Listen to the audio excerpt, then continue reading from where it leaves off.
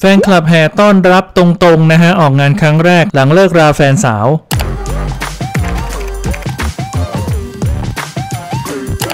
หลังจากที่ตรงๆกฤษกรเลิกลากับเบสรักวันีนะฮะเมื่อช่วงสงกรารที่ผ่านมา ถ้าจำกันได้ช่วงนั้นนะฮะนักร้องนักแสดงหนุ่ม เจอพายุคำถามจากบรรดาแฟนคลับที่ติดตามความรักของทั้งคู่นะครับว่าตรงๆเป็นต้นเหตุที่ทำให้ความรักครั้งนี้จบลงหรือเปล่า ซึ่งตรงๆก็ได้เอ่อเก็บตัวเงียบไม่ได้ออกมาตอบคำถามแต่อย่างใด ตลอดระยะเวลาเกือบ 2 เดือนนะฮะ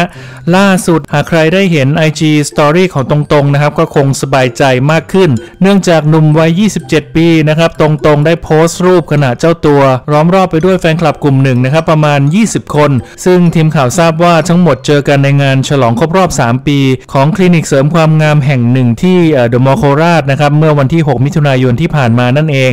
โดยมีแฟนคลับมารอรับตรงๆ ด้วยความอบอุ่นนะครับกิจกรรมภายในเต็มไปด้วยความสนุกสนาน โดยเฉพาะช่วงที่ตรงๆขึ้นร้องเพลงนะครับโดยหนุ่มตรงๆนะฮะก็ได้ฝากข้อความถึงแฟนคลับผ่านทาง Story IG นะครับบว่า ขอบคุณทุกคนมากๆ กลับกันดีๆนะครับ เดินทางปลอดภัย และอย่าลืมดูแลสุขภาพของตัวเอง ขอขอบคุณข้อมูลดีๆจาก True ID นะครับ และขอขอบคุณเพื่อนๆที่ติดตามด้วยนะฮะ